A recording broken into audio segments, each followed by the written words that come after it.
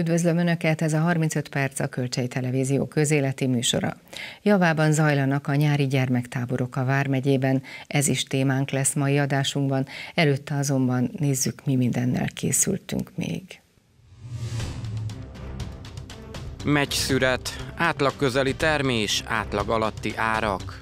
Hajós Alfred aranyplakett, dr. Vajda Ildikót díjazták. Élménydús szünidő, tematikus gyermektáborok a Vármegyében. A tavalyi asszály és a márciusi-áprilisi fagyok hatása is látszik a megy terméshozamán. A szakemberek szerint 10-20 százalékkal kevesebb lesz a gyümölcsből, mint az elmúlt évben. A termelési költségek jelentősen megemelkedtek, viszont a megy átvételi ára nemhogy nőtt volna, hanem 15-20 százalékkal alacsonyabb a tavainál. A szüret már megkezdődött, 60 ezer tonna körüli termésre lehet számítani. A tavalyi évben évszázados asszályt éltünk meg. Gyakorlatilag áprilistól egészen augusztus végéig nem volt csapadék, ami minden bizonyal rányomta a bélyegét az idei virágok kondíciójára. Ugyanis az elmúlt évben alakultak ki azok a virágrügyek, amelyek idén képezték a termés alapját, és nagy valószínűség szerint ezeknek a virágoknak a kondíciója, a termékenyülő képessége a tavalyi aszályokán nem volt tökéletes, még akkor sem, hogyha tavaly augusztus végén megérkeztek az esők, és az ősz alapvetően csapadékos volt. Azt gondolom, hogy a tavaly őszi bőséges csapadóknak köszönhetjük azt, hogy egyáltalán volt virágzás a gyümölcs termesztésünkben, hiszen olyan asszályt éltünk meg, hogyha nincs az őszi csapadék, és az utolsó pillanatban a fák nem tudnak még virágrügyeket érlelni, akkor idén tavasszal egy nagyon-nagyon gyenge virágzással néztünk volna szemben. Ez feltételezés, de valószínűleg ez így lehet körülbelül igaz. Idén tavasszal nagyon jó virágzással indultunk, szinte minden gyümölcsfajban, de a megyben is, viszont a kedély állapotunkat már ideje korán rontották a március második felében érkező fagyok, majd áprilisban is volt több hullámban olyan lehűlés, ami érintette a megy virágzását, hiszen pont a megy virágzásának elején vagy közvetlenül előtte jött. Ha ez nem lett volna elég, akkor a virágzás időszakában, majd a virágzást követő egy-két hétben gyakran volt borult, hűvös, csapadékos időjárás, ami abszolút nem kedvez a méhek járásának, ezáltal a beporzásnak, nem kedvez a termékenyülésnek, majd ha termékenyült volna a virág, akkor nem kedvez a termés kötődésnek. Mindez, vagyis az, hogy tavasszal voltak éjszakai fagyok és gyakran volt hűvös, csapadékos, borult időjárás, abban ütközött ki, hogy nagyon rossz volt a termés kötődés.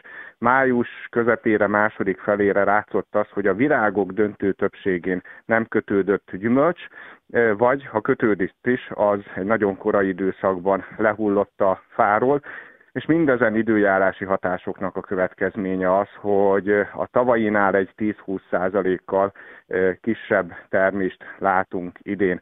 Az más kérdés, hogy egyébként május elejétől kezdve helyel közel optimális időjárás van a megyre, hiszen bőséges a csapadék, nincsenek nagy kánikulai időszakok, a megybetakarítása már elindult egy három héttel ezelőtt is, azóta sincsenek nagy kánikulai hullámok.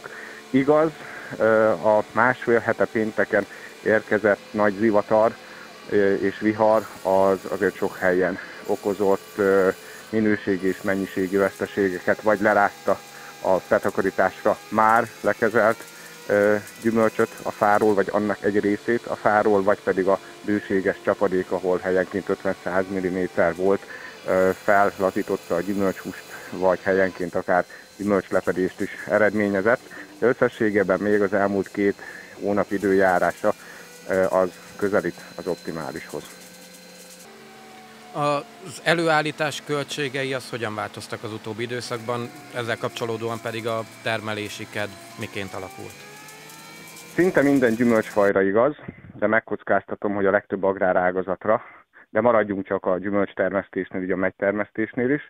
Az elmúlt két év viszonylatában 40-50 százalékkal emelkedtek a termelés költségei. Elég csak azt említeni, hogy tavaly a műtrágyák ára 3-6 szorosára emelkedett, ugyan nagyot zuhant az utóbbi fél évben, de még így is a műtrágyák kétszer vagy háromszor annyiba kerülnek, mint két-három évvel ezelőtt.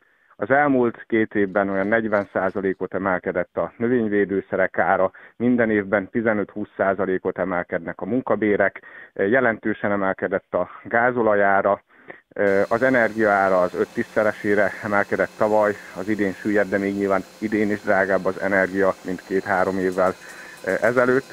Arról nem is beszélve, hogy nem az éves termelési költségek között tartjuk számon, hanem beruházási költségek között, de másfél-kétszeresére emelkedett az elmúlt három évben a gépek ára, másfélszeresére emelkedett egy ültetvénytelepítésnek a költsége, tehát a termesztési és beruházási költségek drasztikusan nőttek. Ha csak az éves termelés költségeinél vagyok, akkor azt lehet mondani, hogy az elmúlt két-három évben mintegy 50%-kal emelkedtek a termesztés hektáronkénti költségei, de ha az elmúlt 5 évet nézem, akkor körülbelül 70-80%-kal. Ez értelemszerűen a termelési kedvet olyan tekintetben rontja, hogy ugyanahoz az eredményhez ennyivel nagyobb tőke befektetésére van szükség néhány év leforgása alatt. És ha jó minőségben akarunk termelni, vagy egyáltalán új ültetvényt akarunk telepíteni, akkor másfélszer, kétszer annyi tőkére van szükségünk ehhez, mint volt öt évvel ezelőtt, ami értelemszerűen nagy teher. És ennek fényében borzasztóan nehezen emészthető az, hogy a megy átvételi ára semmivel nem magasabb, mint három vagy négy vagy öt évvel ezelőtt, és különösen illúzió romboló, hogy mintegy 15-20%-kal alacsonyabb, mint tavaly. Ez minek tudható be egyébként? Tudni kell azt, hogy a magyar megytermésnek durván a két harmada, vagy így, vagy úgy, de befőttes üvegbe kerül, tehát megy befőtt formájában értékesítjük. Ez azt jelenti, hogy durván 30-35 ezer tonna megyet vesznek meg a hazai konzervgyárak, egy 7-8 ezer tonnát vesznek meg a német konzervgyárak, esetleg még egy-két ezer tonnát viszünk más országok konzerv üzemeibe, vagyis összességében azt lehet mondani, hogy a 60-70 ezer tonna megytermésünkből egy olyan jó 40 ezer tonnából megybefőtt készül. Vagyis a magyar megy ilyen szempontból egy jelentős felhasználási csatornával rendelkezik, ez pedig alapvetően a magyar és a német konzervipar. Ha elkészült a megybefőtt, akkor arra megint igaz, hogy gyakorlatilag szinte csak egy piacon lehet értékesíteni, ez pedig Németország. A Magyarországon előállított mintegy 60 millió üveg megybefőtnek a 70% az Németországba megy, így érdemben oda tudunk értékesíteni, és ebből fakad az a kiszolgáltatottságunk, hogy a megybefőtt árát néhány nagy német vevő, áruházlánc, illetve importőr határozza meg. És mivel az 5-6 jelentős konzervgyárunk is egymással versenyezik a piacon a megybefőtt beszállítási pozíciókért, ezért, ahogy ez lenni szokott, szervezetlenségünk okán egymás elől verjük le az árakat, hiszen ezek a konzervgyárak egymás ellen alkudoznak az áruházlánci beszállításokért. Idén a nagy német vevők hallani se akartak a megybefőtt árának emeléséről. Ugye mindenhol Európában törekvés az infláció leszorítása, ehhez árakat kell csökkenteni, vagy legfeljebb a tavalyi szinten tartani, de szervezetlenségünk okán azt sem sikerült elérni, hogy a megybefőtt ára a tavalyi szintet elérje. Kismértékben, de még a tavalyi megybefőtt árakat is mérsékelni kellett. Ugyanakkor a megybefőtt előállítás költsége is nagyon jelentősen emelkedtek. Csak tavalyról idénre mintegy 20-25 százalékos költség emelkedést szenvedtek el a konzervgyárak, és ez szorította őket satuba, hogy a vevőik tavalyi vagy annál alacsonyabb árakat várnak, ugyanakkor a költségeik emelkedtek, így értelemszerűen hol lehetett megfogni a költségeket, és megúszni azt, hogy a konzervgyáraink tönkre menjenek, alapvetően az alapanyagnál.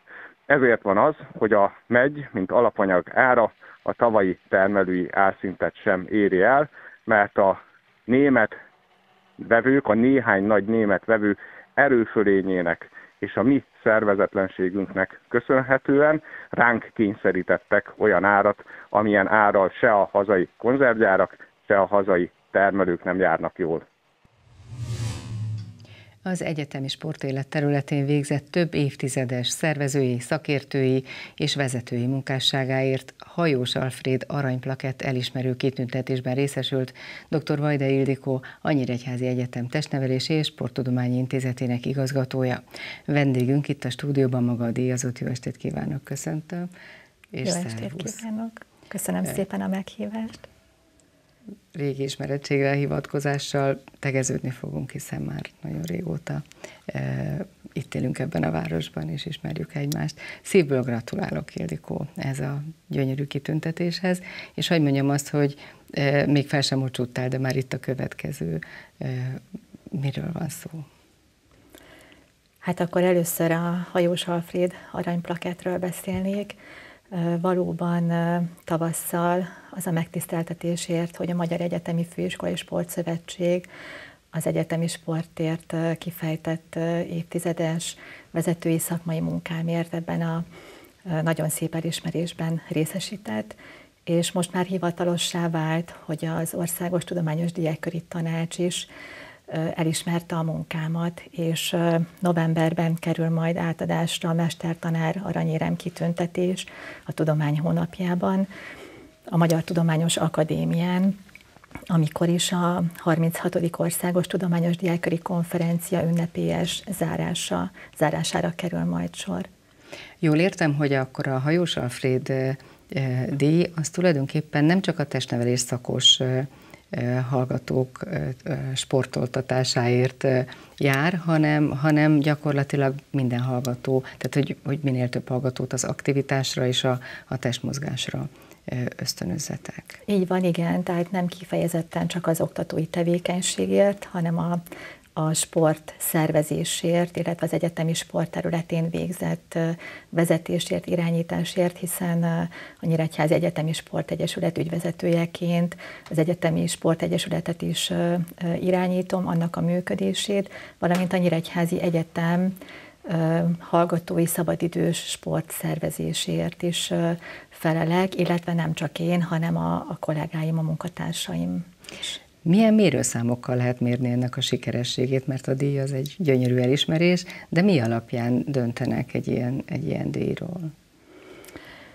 Hát igazán uh, uh, tulajdonképpen az, amit az ember végez, amit uh, csinál, uh, egy laudációt készít az egyetem, amelyet, illetve minden sportszakember képző intézmény, azokról, akik, akiket méltónak találnak arra, hogy esetleg ezt a díjat megkaphatják, és, és ha Egyetemi Sportszövetség elnöksége dönt arról, hogy valóban az az életút, amit az a, az, az előterjesztés tartalmaz, az eleget tesz ennek a díjnak az odaítélésére. Ez most a mestertanári, mm. vagy a vagy a hajós Alfred, amiről Én most, a hajós beszélünk. Alfred mhm. aranyplaketről beszéltem. A mestertanár aranyérem kitüntetés, tehát ez egy másik terület, hiszen itt a hallgatói tehetséggondozás az a, az a ö, oktatói tevékenység mellett végzett feladat, amelyet ők mérik. Természetesen itt is több évtizedes témavezetői, tudományszervezői tevékenységről van szó, jó magam abban a megtiszteltetésben részesültem, hogy néhány évvel ezelőtt felkérést kaptam az Országos Tudományos Diákköri Tanács Testnevelési Sporttudományi Szakmai Bizottsága részéről, hogy vállaljam el a titkári feladatokat. Tehát van egy országos feladatom is, mind a mellett, hogy a Nyíregyházi Egyetemen a a szakmai kollégium, illetve a tehetséges hallgatók témavezetését vállalom több évtized óta már, illetve néhány éve doktoranduszom is van, aki remélem hamarosan abszolválni fogja majd a doktori tanulmányait. Idikó, hogyan látod magát a testnevelést, mint tantárgyat? Hogy viszonyulnak hozzá manapság a diákok, a szülők? Mennyire kezelik helyén ezt a dolgot? Mert én úgy látom, hogy azért még, még mindig nagyon sokan, ó, az csak tesi. Hogy, az, hogy hogyan lehet ennek a jelentőségére igazán felhívni a figyelmet? Számos sporttudományi kongresszuson ez a téma, mint kutatási terület előtérbe kerül, akár a neveléstudományi területen, akár pedig a sporttudományi területen nagyon sok kutatás, vizsgálat folyik erről, nagyon változóak az eredmények. Természetesen mindig meghatározza a tantárgyhoz való hozzáállást az iskolában, annak a szakembernek a hitelessége, aki a tantárgyat oktatja, és ez nem csak a testnevelésre vonatkozik, hanem bármilyen más közismereti tantárgyra is. Én azt gondolom, hogy el kell most már fogadni azt, hiszen a kormánynak kiemelt szerepe az, hogy az egészség, az egészséget, az egészséges életmód egészséges életmódot, az egészségtudatosságot minden irányból támogat, támogassa a sportot, mint, mint az egészségtudatos életmódnak egy részét támogassa, és mindenkinek el kell fogadni, és, és fontos egy szemléletváltás annak érdekében, hogy, hogy a, a, a magyar társadalom egészségi állapota javuljon, hiszen tudjuk, hogy nem túl jó a, a felnőtt lakosságnak, sőt a fiataloknak sem az egészségi állapota, és én azt gondolom, hogy minél kisebb korban el kell ezt az oktatást, illetve nevelést kezdeni. Ugyanakkor nem csak az egészségmegőrzés, de akár egy rehabilitáció során is óriási jelentősége van a, a mozgásnak, és annak a mozgás kultúrának, vagy annak a szokásrendszernek, amit már gyerekkorban bele kellene, hogy építsünk. Így van, tehát a sport egy multidisziplináris terület, nagyon sok tudomány területtel, tudományággal van kapcsolatban. Összességében egy holisztikus szemléletet kell kialakítanunk, mert mind mentálisan, mind pedig szomatikusan, tehát a, a testi tünetek kezelésére, vagy akár helyreállítására, vagy megelőzésére preventív jelleggel a, fizikai aktivitás, a rendszeres fizikai aktivitás egy gyógyszer, és a Magyar Sporttudományi Társaságnak van is egy ilyen szakbizottsága, amelyet úgy hívunk, hogy mozgásgyógyszer szakbizottság. Nagyon sokan igyekszünk ezért a szemléletformálásért tenni, és, és az oktatásban is ezt próbáljuk hangsúlyozni, hogy a Nyíregyházi Egyetem sportszakember képzésében résztvevő hallgatók közül olyan szakemberek kerüljenek ki, akik ezt a felfogást, ezt a szemléletet hirdetik, akárhová kerülnek, akár melyik korosztály körébe kerülnek, nagyon fontos az, hogy, hogy az, az egészséges életmódot, az egészségtudatosságot akár a saját példájukon keresztül is hirdessék. És akkor egy picit beszéljünk a Nyíregyházi Egyetemnek erről a, a, az intézetéről. Milyen futóprogramokkal próbáljátok ezeket a célokat elérni? Egyáltalán hány hallgatót képeztek évente, és hogyan sikerül ez a szemléletformálás? Szerencsére azt mondhatom, hogy a, a sporttudományi képzési területre jelentkező hallgatóknak a száma még mindig stagnáló, vagy, vagy, vagy kicsit növekedik is ez a szám. Maga a pedagógus képzés, ugye tudjuk, hogy nem egy népszerű terület ma az oktatásban, a felsőoktatásban, de a Nyíregyházi Egyetemen a tanár szakok közül a testmerő tanárszak még mindig vezető helyen áll, elég népszerű, és mindemellett pedig, hiszen a tanárképzésben a Nyíregyházi Egyetem és jogelőd intézményeinek több évtizedes hagyománya van. Ezt a színvonalat próbáljuk megtartani, erősíteni, és, és emellett pedig újabb szakokat indítottunk. A sportszervezés alapszakunk is évek óta működik, illetve a, az edző alapszakunk már most ötödik éve folyik az oktatás ezen a területen, és az idei évtől újabb specializációt vezetünk be, a kosárlabda edző, szakedző specializációt. Mennyire aktívak tudományos területen a nyíregyházi hallgatók a Sporttudományi Intézetben? Ez a mi feladatunk, az oktatók feladata, hogy a tehetségeket felkutassuk. Nagyon változó, de de én azt gondolom, hogy aki igazán jó szakember szeretne lenni, és ezt mindig elmondom a hallgatóknak, már az első éveseknek is, hogy aki igényes, jó szakember szeretne lenni, annak mindent el kell követni azért, hogy azon a tananyagon túlmenően, amit az oktatóitól megkapnak, fejleszik a tudásukat és képezzék magukat. Hál' Istennek vannak, vannak hallgatóink, akikkel tudunk dolgozni a kutatóműhelyeinkben, illetve a szakkollégiumunkban. Mennyire van rálátásatok arra, hogy akármelyik diplomátokkal hogyan boldogulnak a kirepülő hallgatók? Mindenki el tud helyezkedni, főleg a testnevelő tanárok, a testnevelő tanári diplomával, hiszen a mindennapos testnevelés kapcsán nagyon felértékelődött és hiány, hiány szakmaként mutatkozik a testnevelő tanár végzettség. Mindemellett pedig, akik nem testnevelőként végeztek, hanem mondjuk sportszervező, vagy testnevelő edző, vagy edző szakon, ők is el tudnak az iskolákban helyezkedni, sőt lehetőségük van arra, hogy tanári diplomát is szerezzenek egy posztgraduális képzésben, de akik edzők szeretnének lenni, ők is el tudnak helyezkedni. Tehát szerencsére mindenki, aki nálunk diplomát szerez, megvan a lehetősége, hogy a szakmájában tudjon boldogulni. Te magad, mi az, amit a legnagyobb eredményként, örömként tudsz megélni a szakterületeden, és amit most megkoronázott ez a két díj? Azt szoktam mondani, hogy nagyon szerencsés vagyok azért, mert azt, azt végzem, azt a munkát végzem, amit nagyon szeretek, és, és szívvel, lélekkel csinálom. Nem azért, hogy diakat kapjak, hanem mert, mert valóban fontosnak tartom a, a fiataloknak a, az oktatását, a tehetséggondozást.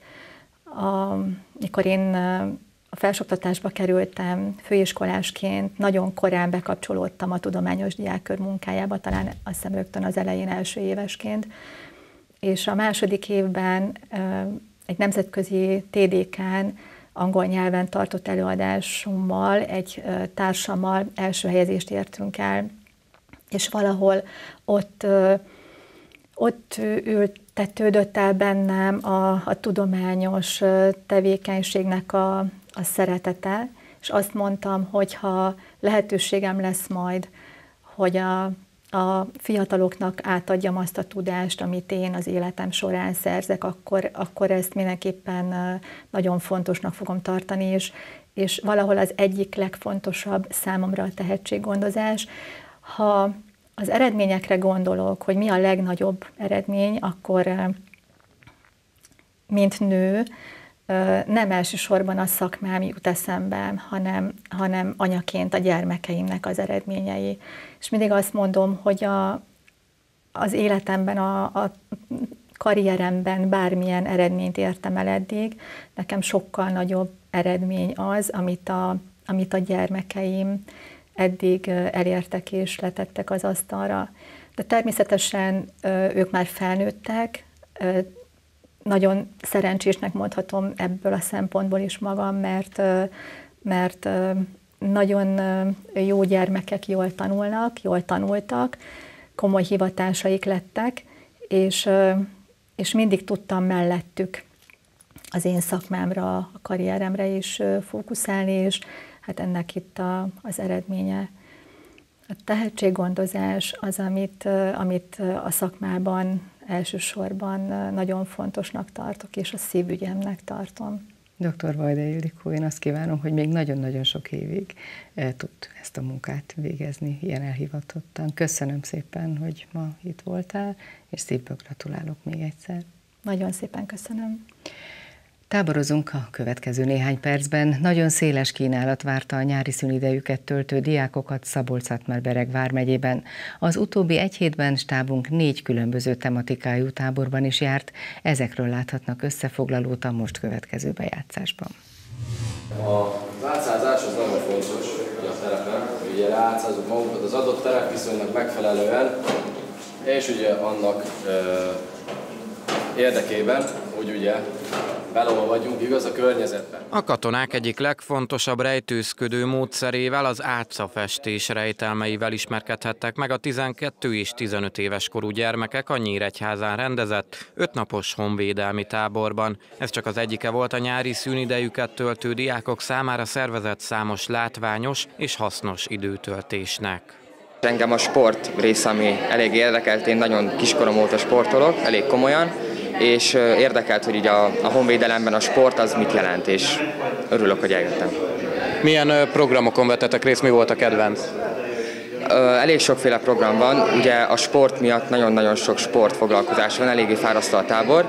Volt airsoft lövészet, elsősegélynyújtási gyakorlatok, önvédelem, ugye közelharc, és nekem az, eddig az airsoft tetszett a legjobban.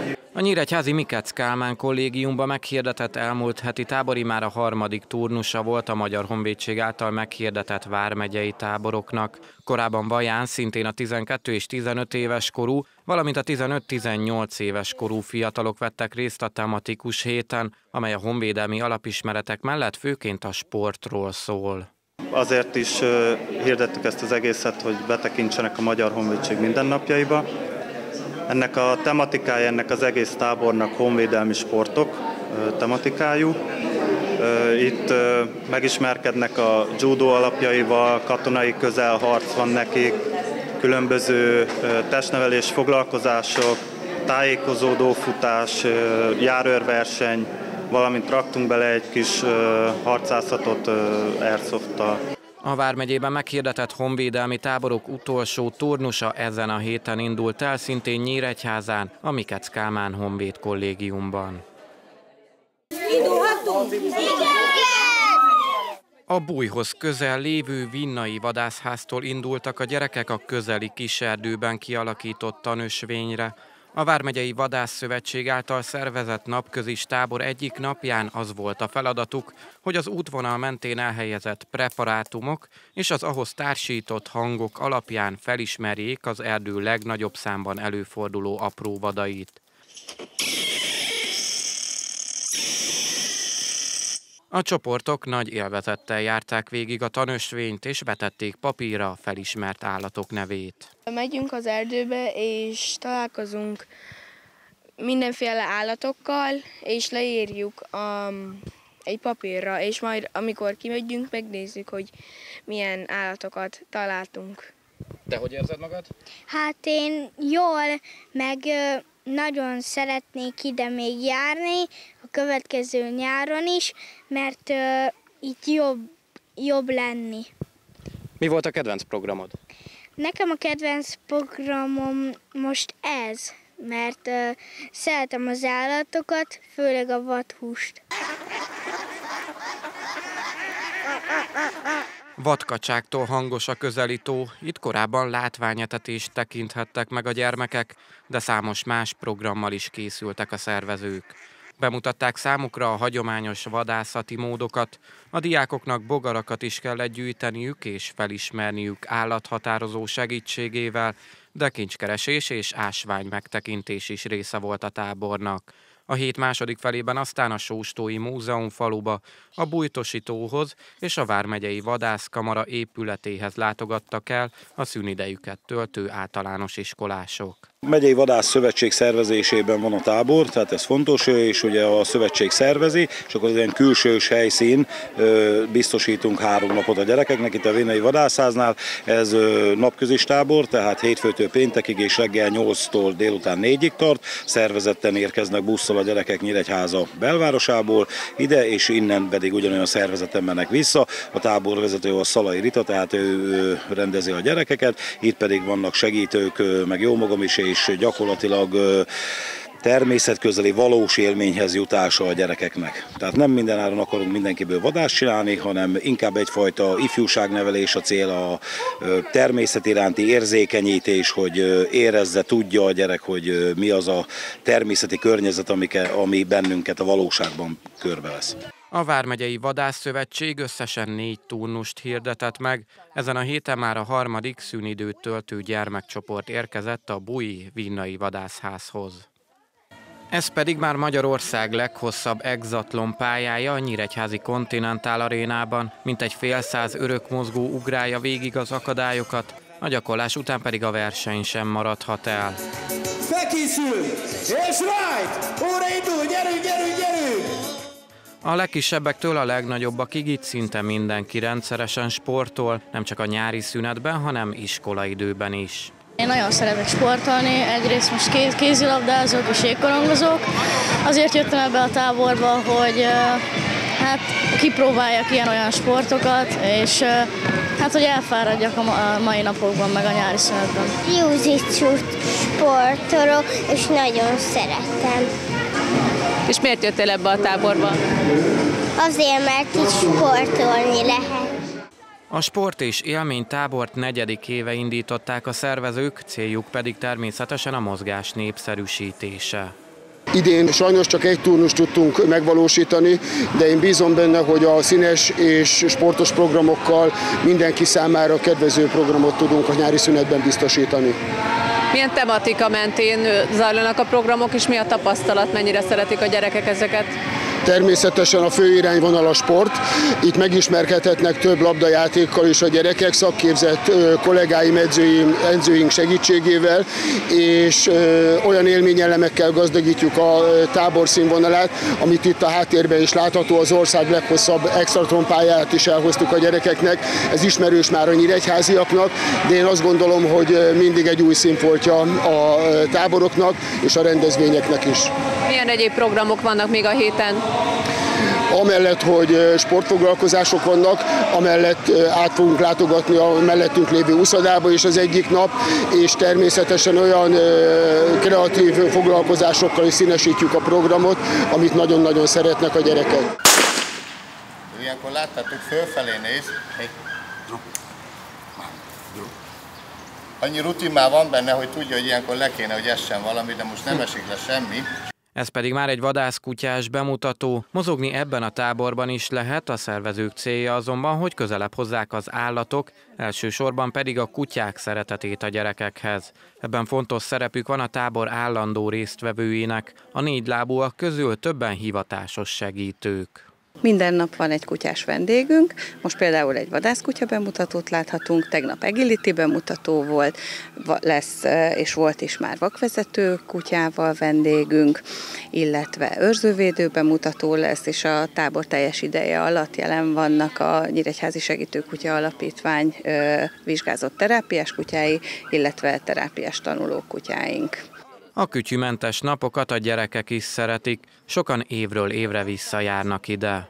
Nagyon jó a közösség, és sok dolgot meg lehet tudni a kutyákról, és sokat jönnek hozzánk vendégek is, például most is vadászok vannak itt, és nagyon jó dolgokat lehet ebbe a táborba csinálni, úgyhogy mi nagyon szeretjük. Te hanyadik éve vagy itt? És um, most vagyok itt másodjára, és az a jó ebbe szerintem, hogy vannak programok, és így nem tudunk unatkozni, és sok mindent megtudunk az állatokról. És akkor gyakorlatilag ez az a vad megállás, amit szeretnénk mi nagyon stabilan a kutyával. És látjátok, közben lövünk, tehát ő attól függetlenül ugyanolyan stabilan áll tovább. Nagyon jó ez a tábor, harmadik éve járok ide, és nagy, nagyon okosak a kutyák, és ö, szeretek ide járni. Egy biztos az élménytáborokban az egyhetes turnusok alatt sokszor akár egész évre vagy életre szóló élményekkel is gazdagodhatnak a gyerekek. Kedves nézőink, eddig tartott ma a 35 perc, legközelebb új műsorral szerdán várjuk Önöket, akkor többek között a klímaváltozás hatásaival is részletesen foglalkozunk. Számítunk figyelmükre akkor is, viszontlátásra!